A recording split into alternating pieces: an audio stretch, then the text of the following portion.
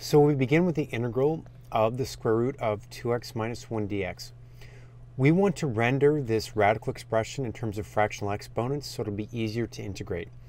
So then we have the integral of 2x minus 1, that quantity, to the 1 half dx. For u substitution, what we want to do is usually use the u equals this inner expression here. In this case, u equals 2x minus 1.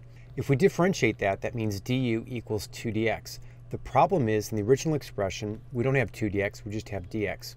So to place the 2 in front of the dx, we have to place a 1 half in front of the whole integral in order to balance it out, because 1 half times 2 is 1, and we can do that.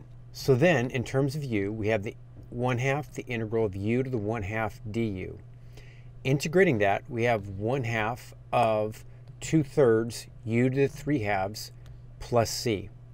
Cleaning that up, we have 1 third u to the 3 halves plus c. And then the last step, substituting everything back into the x, the original variable, we have 1 third the quantity 2x minus 1 to the 3 halves plus c.